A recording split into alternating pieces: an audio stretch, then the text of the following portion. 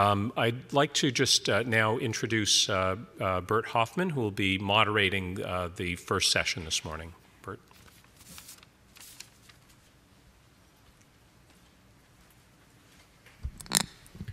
Thank you very much, Michelle.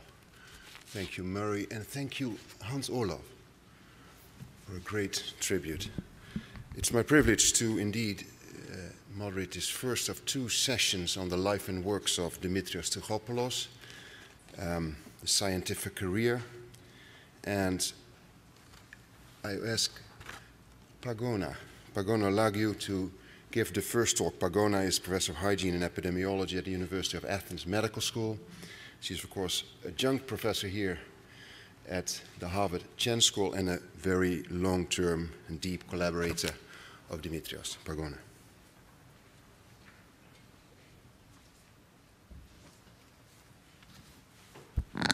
Thank you very much, Bert. Good morning. Please allow me to start by thanking the chair of the epidemiology department, Michelle Williams, and her team for arranging this symposium in honor of Dimitrios. It is a huge privilege for me to have the opportunity today on this occasion to be among people Dimitrios respected, admired, and felt very close to. Sinan? Do I just? Okay, here I am. When Dimitrios was teaching at the Cancer Epi course at HSPH, he always preferred to address two cancer sites primary liver cancer and breast cancer. And the first contrast that you would point to the students was that for primary liver cancer and lung cancer, much less has been spent and much more has been accomplished in terms of identification of strong risk factors, whereas the opposite was true for breast cancer. Dimitrios worked on lung and uh, liver cancer because these were common cancers in Greece on account of our very poor smoking habits and the high prevalence of chronic hepatitis infections at that time. But breast cancer was his pet project. And Greece, with its existing or non existing infrastructure, was the least suitable place for him to study his hypothesis. Now, what was this hypothesis? In 1990, Dimitrios published a paper in The Lancet claiming that increased concentrations of estrogens and possibly other hormones during pregnancy increase the probability of daughters getting breast cancer by creating a fertile soil for subsequent cancer initiation. The assumptions were that factors which increase the risk of cancer when they act in adult life may also increase it when they act in utero, a period in life when we have more immature cells. And also estrogens, hormones that had been implicated in breast cancer etiology in adult life, were, if anything, 10 times higher in concentration during pregnancy than in other periods of adult life. In 1995, in an editorial Dimitrios wrote about early life influences and cancer in general, he was saying, a simple hypothesis is that pregnancy steroids or other hormones, such as insulin-like growth factor 1, are positively associated with the total number of stem cells. And why would that apply to breast cancer perhaps even more than other cancers? Because of the very nature of the mammary tissue. The mammary tissue is the only organ which is not fully differentiated at birth. It undergoes maximum development during pregnancy and lactation and regresses after menopause. We know that breast cancer occurs rather late in life, mostly after menopause.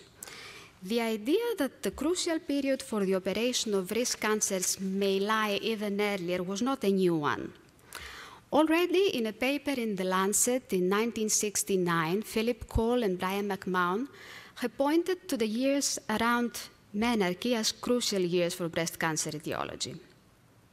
That same year, Dimitrios, in a case control study in Greece, showed that adult height is positively associated with breast cancer risk, the adult height being used as a proxy for the rate of growth early in life. This time, Dimitrios was taking it even earlier, in utero. An interesting hypothesis. An interesting hypothesis with a big challenge for epidemiologists, and the challenge was the huge latency time, decades from the exposure to the outcome. Ideally, one would have wanted a cohort of women followed from before birth to after menopause, with all relevant variables recorded and biological samples available. But as you know, life is never that easy. So there had to be ways around this problem. And the ways would be either exploitment of natural experiment or ecological contrast for that matter, or use of registries where relevant variables had been recorded, or even try to find some proxies of the exposure and the outcome who would help shorten this long latency from exposure to outcome.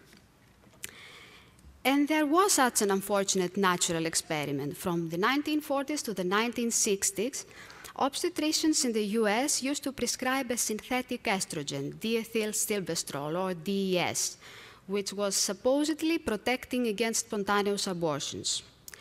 They soon realized that girls exposed in utero to DES were at much higher risk of cancer of the vagina and the cervix. So, a cohort of women exposed to DES has been followed by the NCI and compared to a cohort of women non-exposed to this synthetic estrogen, and it was found that in adult life, the risk of breast cancer among women exposed in utero to this synthetic estrogen is higher than that among women not exposed to it. Since the 1990 paper, there have been several studies linking birth size as a proxy of in utero exposures to breast cancer risk. Several of these studies were initiated by Dimitrios, others by a colleague in Sweden, and there were also independent studies. So much so that now we consider the positive association of birth weight with breast cancer risk as a more or less established one. In 2004, Dimitrios received an Innovator Award to study his hypothesis on early life processes, endocrine mediators, and number of susceptible cells in relation to breast cancer risk. He joined forces with colleagues in the US and in Sweden. I can mention here Chung Hsieh, Hans-Olof Adami, Anders Ekbom, and several others. And he created a project comprising five component projects. Three of them yielded from data recorded in registries in Sweden. So the first one looked at postnatal growth in relation to breast cancer risk. The second one studied the association of birth size with adult mammographic density. And the third one looked at whether birth weight interacts with SNPs associated with high risk, higher risk of breast cancer with respect to the risk of this cancer. The fourth component project used two cohorts of pregnant women, one in Shanghai, China, and the other one in Boston, US, and compared cord blood hormone levels in these two cohorts. And the fifth one, led by Chung Hsieh, looked at the role of stem cells in breast cancer etiology. So for the first component project, we know that babies tend to lose weight before start gaining weight. And we know that weight loss corresponds to water loss, which reflects water retention during pregnancy. And the hypothesis is that higher hormone levels in utero cause higher water retention. And after birth, when they start getting weight, it has been shown that weight gain is associated with the levels, positively associated with the levels of growth hormone like IGF 1. So what we were able to see here is that the bigger the weight loss at the beginning and the higher the rate of weight gain afterwards, the higher the risk of breast cancer in adult life. When we looked at birth weight in relation to mammographic density in adult life, we saw that this mammographic density increases with increasing birth weight. And we know that higher mammographic density is associated with higher risk of breast cancer. For the third component project, we used data from GWAS studies available then and identified the top hits in uh, high-risk SNPs in low penetrance genes. And we were able to see, as was reported in these GWAS studies, that women in our group who were, who were homogeneous in the high risk allele were at higher risk of breast cancer, and that this risk increased even more with increasing birth weight. For the fourth component project, we built on the striking ecological contrast in breast cancer incidence between Asian and Caucasian women. We know that breast cancer risk is three to fourfold times higher among Caucasian than among Asian women. So we had these two cohorts of pregnant women. We measured cord blood hormone levels, and if anything, we saw that steroid levels were higher among low risk Asian women than among Caucasian. But we also saw that uh, the sex hormone binding globulin, the endocrine compound which binds estrogens and limits their bioactivity, is higher among Asian women. And we found out that the strong growth factor, IGF 1, is higher among Caucasian women. For the fifth component project, Chung Hsieh was able to show that levels of putative mammary tissue specific stem cells are correlated with hematopoietic stem cells. And this was important because hematopoietic stem cells are much easier to measure in cord blood than putative mammary tissue specific stem cells. And we also saw that levels of hematopoietic stem cells increase with increasing birth weight. So, in summary, the Innovator project provided evidence that immediate postnatal growth is positively associated with adult breast cancer risk, birth weight is positively associated with adult mammographic density, birth weight could interact with high, with high susceptibility SNPs with respect to adult breast cancer risk. Cord blood SHBG, which is higher in Chinese, and IGF 1, which is higher in Caucasian, could be implicated in breast cancer risk. And hematopoietic stem cell levels, which are positively correlated with levels of putative breast stem cells, are positively also associated with birth weight. Based on the results from the innovator and the existing evidence in the international literature, in 2008, uh, under the guidance of Dimitrios, we wrote a mini review. A mini review on the etiology of breast cancer, which mentioned three postulates. First, that breast cancer risk depends on the number of mammary tissue specific stem cells, which is determined early in life, including the intrauterine life. In early and later life, growth enhancing hormones affect the replication rate of mammary tissue specific stem cells, the likelihood of spontaneous mutations in these cells, and the rate of expansion of initiated clones. And finally, while a pregnancy stimulates replication of already initiated cells, it conveys long-term protection through differentiation of a large fraction of the mammary tissue-specific stem cells. These three postulates were not independent, but they were all stages in a single biological process the first one focusing on the perinatal period, where tissue-specific stem cells are generated.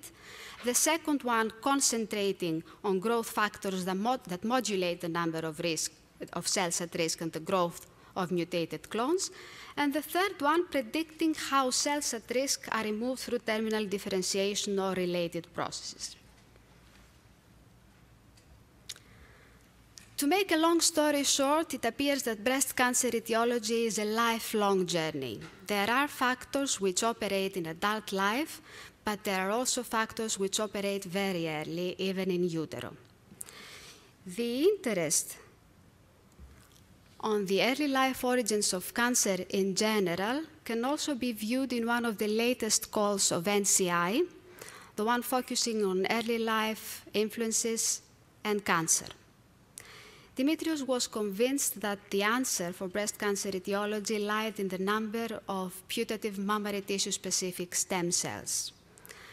He was convinced that the work that was coordinated by Chung Hsieh was original and promising for the future. And with this, I'm ready to pass the baton to Chang for him to share with us the results of his research. Thank you very much.